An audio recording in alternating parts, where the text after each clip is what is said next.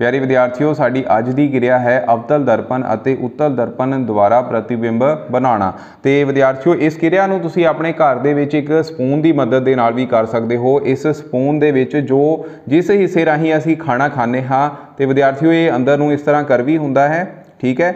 ਇਹ ਵਿਦਿਆਰਥੀਓ ਅਵਤਲ ਦਰਪਣ ਦਾ ਕੰਮ ਕਰਦਾ ਹੈ। ਜੇਕਰ ਤੁਸੀਂ ਇਸ ਦੇ ਥਰੂ ਆਪਣਾ ਜੋ ਇਮੇਜ ਹੈ, ਉਹ ਦੇਖੋਗੇ, ਆਪਣੇ ਆਪ ਨੂੰ ਦੇਖੋਗੇ, ਤਾਂ ਵਿਦਿਆਰਥੀਓ, ਇੱਥੇ ਤੁਹਾਨੂੰ ਤੁਹਾਡਾ ਪ੍ਰਤੀਬਿੰਬ ਉਲਟਾ ਦਿਖਾਈ ਦੇਵੇਗਾ। ਤੇ ਵਿਦਿਆਰਥੀਓ, ਜਦੋਂ ਅਸੀਂ ਇਸ ਨੂੰ ਉਲਟਾ ਦਿੰਦੇ ਹਾਂ, ਜੋ ਜਿਸ ਦਾ ਪੋਰਸ਼ਨ ਜਿਹੜਾ ਹੈ, ਬਾਹਰ ਵਾਲਾ ਪੋਰਸ਼ਨ ਉਹ ਬਾਹਰ ਨੂੰ ਕਰਵੀ ਹੈ, ਇਹ ਵਿਦਿਆਰਥੀਓ, ਉੱਤਲ ਦਰਪਣ ਦਾ ਕੰਮ ਕਰਦਾ ਹੈ, ਜਿਸ ਵਿੱਚ ਪ੍ਰਤੀਬਿੰਬ ਸਾਡਾ ਬ੍ਰੌਡ ਦਿਖਾਈ ਦਿੰਦਾ ਹੈ। ਤੇ ਵਿਦਿਆਰਥੀਓ ਇਸ ਇਹਨਾਂ ਦੁਆਰਾ ਬਣਾਏ ਗਏ ਪ੍ਰਤੀਬਿੰਬ ਸਮਤਲ ਦਰਪਣ ਦ- ਦੇ ਦੁਆਰਾ ਬਣਾਏ ਗਏ ਪ੍ਰਤੀਬਿੰਬ ਦੇ ਨਾਲੋਂ ਵੱਖਰੇ ਹੁੰਦੇ ਹਨ। ਲੈਬੋਰਟਰੀ ਵਿੱਚ ਇਹ ਮਿਰਰ ਕਿਸ ਤਰ੍ਹਾਂ ਦੇ ਹੁੰਦੇ ਹਨ? ਲਾਈਕ ਦਿਸ ਠੀਕ ਹੈ? ਤੋਂ ਇਸ ਵਿੱਚ ਜੋ ਅੰਦਰ ਵਾਲਾ ਪੋਰਸ਼ਨ ਨੂੰ ਤੁਸੀਂ ਟੱਚ ਕਰੋਗੇ ਤਾਂ ਟੱਚ ਕਰਨ ਤੋਂ ਤੁਹਾਨੂੰ ਪਤਾ ਲੱਗ ਜਾਏਗਾ ਕਿ ਇਹ ਇਹਦੇ ਵਿੱਚ ਅੰਦਰ ਨੂੰ ਇਹ ਕਰਵੀ ਹੈ। ਤੋਂ ਜਿਹੜਾ ਅੰਦਰ ਨੂੰ ਕਰਵੀ ਹੈ, ਉਹ ਵਿੱਚੋਂ ਅਵਤਲ ਦਰਪਣ ਹੈ, ਯਾਨੀ ਕਿ ਕਨਕੇਵ ਮਿਰਰ ਜੋ ਬਾਹਰ ਨੂੰ ਕਰਵੀ ਹੈ, ਉਹ ਹੁੰਦਾ ਹੈ ਉੱਤਲ ਦਰਪਣ, ਯਾਨੀ ਕਿ ਕਨਵੈਕਸ ਮਿਰਰ ਵੱਡੇ ਪ੍ਰਤੀਬਿੰਬ ਦਿਖਾਉਣ ਲਈ ਮੇਰੇ ਕੋ ਇਹ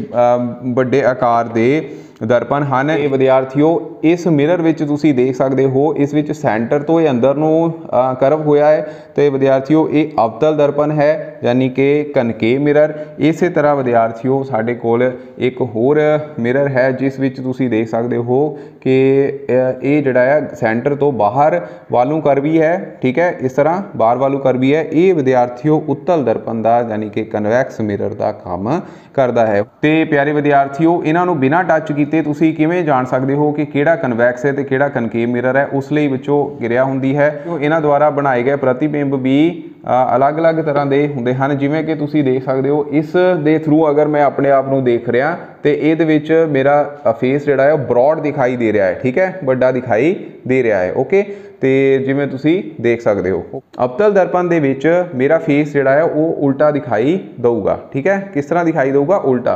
ਤੁਸੀਂ ਦੇਖ ਸਕਦੇ ਹੋ, ਮੈਂ ਇਹਦੀ ਐਡਜਸਟਮੈਂਟ ਜਿਹੜੀ ਉਹ ਕਰ ਰਿਹਾ।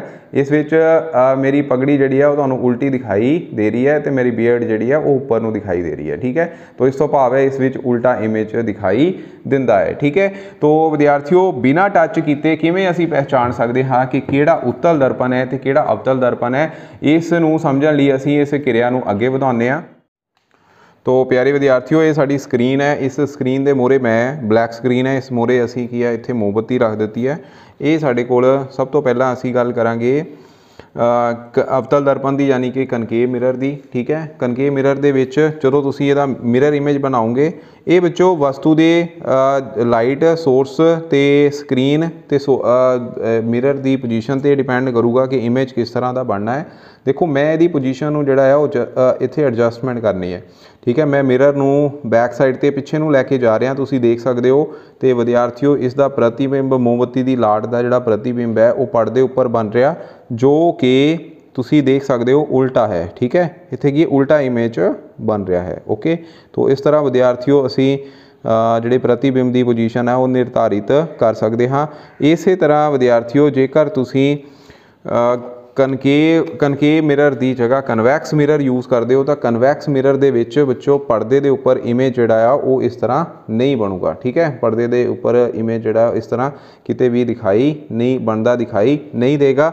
ਪਰ ਜੇ ਤੁਸੀਂ ਜੇ ਤੁਸੀਂ ਹੁਣ ਇੱਥੇ ਮੋਮਬੱਤੀ ਦੀ ਲਾਟ ਨੂੰ ਇਸ ਤਰ੍ਹਾਂ ਦੇਖ ਦੇਖੋਗੇ ਤਾਂ ਤੁਹਾਨੂੰ ਉਹ ਮੋਮਬੱਤੀ ਦੀ ਲਾਟ ਜਿਹੜੀ ਆ ਬ੍ਰੌਡ ਦਿਖਾਈ ਦੇਊਗੀ। ਇਸ ਵਿੱਚ ਇਮੇਜ ਜਿਹੜਾ ਹੈ ਉਹ ਬ੍ਰੌਡ ਦਿਖਾਈ ਦਿੰਦਾ ਹੈ ਠੀਕ ਹੈ? ਸਮਤਲ ਦਰਪਣ ਤੋਂ ਇਸ ਦੀ ਇੱਕ ਵਿਸ਼ੇਸ਼ਤਾ ਹੈ ਇਸ ਵਿੱਚ ਬ੍ਰੌਡ ਇਮੇਜ ਜਿਹੜਾ ਹੈ ਉਹ ਦਿਖਾਈ ਦਿੰਦਾ ਹੈ ਓਕੇ ਸਿਮਿਲਰਲੀ ਅਗਰ ਤੁਸੀਂ ਅਵਤਲ ਦਰਪਣ ਯੂਜ਼ ਕਰਦੇ ਹੋ ਤੇ ਅਵਤਲ ਦਰਪਣ ਨੂੰ ਜੇਕਰ ਤੁਸੀਂ ਮੋਮਬੱਤੀ ਦੀ ਲਾਟ ਦੇ ਬਿਲਕੁਲ ਨੇੜੇ ਰੱਖ ਰਹੇ ਹੋ ਤਾਂ ਤੁਹਾਨੂੰ ਸਿੱਧਾ ਪ੍ਰਤੀਬਿੰਬ ਦਿਖਾਈ ਦੇਊਗਾ ਠੀਕ ਹੈ? ਤੇ ਜੇਕਰ ਵਿਦਿਆਰਥੀਓ ਤੁਸੀਂ ਜਿਹੜਾ ਅਵਤਲ ਦਰਪਣ ਨੂੰ ਪਿੱਛੇ ਨੂੰ ਲੈ ਕੇ ਜਾਓਗੇ ਤਾਂ ਵਿਦਿਆਰਥੀਓ, ਪ੍ਰਤੀਬਿੰਬ ਜਿਹੜਾ ਹੈ, ਉਹ ਸਿੱਧੇ ਦੀ ਬਜਾਏ ਉੱਥੇ ਫਿਰ ਉਲਟਾ ਹੋ ਜਾਏਗਾ। ਤੁਹਾਨੂੰ ਹੁਣ ਇੱਥੇ ਉਲਟਾ ਇਵੇਂ ਦਿਖਾਈ ਦੇ ਰਿਹਾ, ਮੇਰੀ ਪੜ- ਪਗੜੀ ਜਿਹੜੀ ਹੈ, ਉਲ- ਉਲਟੀ ਦਿਖਾਈ ਦੇ ਰਹੀ ਹੈ। ਓਕੇ? ਸੋ ਇਹ ਸੀ ਕਿਰਿਆ ਵਿੱਚੋਂ, ਇਸ ਕਿਰਿਆ ਦੇ ਵਿੱਚ ਅਸੀਂ ਮ- ਜਿਹੜੇ ਪ੍ਰਤੀਬਿੰਬ ਹੈਗੇ ਨੇ, ਉਹਨਾਂ ਦੀ ਪੋਜੀਸ਼ਨ ਨੂੰ ਨਿਰਧਾਰਿਤ ਕੀਤਾ ਹੈ। ਠੀਕ ਹੈ? ਤੁਸੀਂ ਦੇਖ ਸਕਦੇ ਹੋ ਇੱਥੇ ਪ੍ਰਤੀਬਿੰਬ ਜਿਹੜਾ ਹੈ ਉਹ ਉਲਟਾ ਦਿਖਾਈ ਦੇ ਰਿਹਾ ਹੈ। ਪਰ ਜਿਵੇਂ ਹੀ ਇੱਥੇ ਮੋਮਬੱਤੀ ਦੀ ਲਾਟ ਜਿਹੜੀ ਹੈ ਉਹ ਵੀ ਉਲਟੀ ਦਿਖਾਈ ਦੇ ਰਹੀ ਹੈ। ਓਕੇ ਇਹ ਦੇਖੋ ਮੈਂ ਵੀ ਉਲਟਾ ਦਿਖਾਈ ਦੇ ਰਿਹਾ। ਜਿਵੇਂ ਹੀ ਤੁਸੀਂ ਇਹਦੇ ਅ, ਮੋਮਬੱਤੀ ਮਿਰਰ ਨੂੰ ਮੋਮਬੱਤੀ ਦੀ ਲਾਟ ਦੇ ਕੋਲ ਬਿਲਕੁਲ ਨੇੜੇ ਲੈ ਕੇ ਆਇਓ ਹੋ ਤਾਂ ਵਿਦਿਆਰਥੀਓ ਇਹ ਕੀ ਹੈ? ਇਹ ਸਿੱਧਾ ਹੋ ਗਿਆ ਹੈ। ਓਕੇ ਤੋਂ ਇਸੇ ਤਰ੍ਹਾਂ ਬੱਚੋ ਇਹਦਾ ਫਿਰ ਡਿਫਰੈਂਟ ਡਿਫਰੈਂਟ ਇਹਦੇ ਯੂਜ਼ਸ ਹੁੰਦੇ ਨੇ।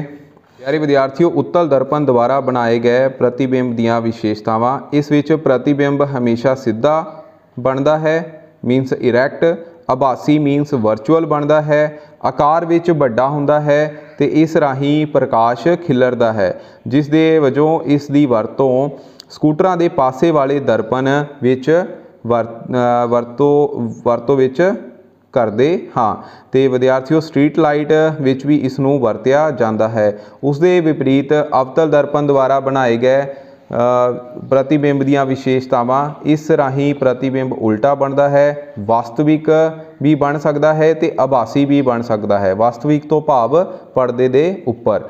ਤੇ ਵਿਦਿਆਰਥੀਓ, ਛੋਟਾ ਜਾਂ ਫਿਰ ਵੱਡਾ ਹੋ ਸਕਦਾ ਹੈ ਤੇ ਇਸ ਦੀ ਪ੍ਰਾਵਰਤਕ ਪਰਾਵਰਤਕ ਸਤਹ ਅੰਦਰਲੇ ਪਾਸੇ ਨੂੰ ਹੁੰਦੀ ਹੈ। ਮਤਲਬ ਇਨਰ ਸਰਫੇਸ ਜਿਹੜਾ ਆ, ਉਹ ਰਿਫਲੈਕਟਿੰਗ ਹੁੰਦਾ ਹੈ। ਤੇ ਵਿਦਿਆਰਥੀਓ ਇਹ ਪ੍ਰਕਾਸ਼ ਨੂੰ ਇਕੱਠਾ ਕਰਦਾ ਹੈ। ਇਸ ਦਾ ਉਪਯੋਗ ਸਕੂਟਰਾਂ ਦੀ ਹੈਡਲਾਈਟ ਵਿੱਚ, ਸਰਚ ਲਾਈਟ ਵਿੱਚ, ਸ਼ੇਵਿੰਗ ਪਰਪਸ ਲਈ, ਸੋਲਰ ਕੁੱਕਰ ਵਿੱਚ ਉਸ ਤੋਂ ਬਾਅਦ ਡਾਕਟਰਾਂ ਦੁਆਰਾ ਅੱਖ, ਕੰਨ, ਨੱਕ ਤੇ ਗਲੇ ਦਾ ਨਿਰੀਖਣ ਕਰਨ ਲਈ ਵਰਤੀ ਜਾਂਦੀ ਹੈ।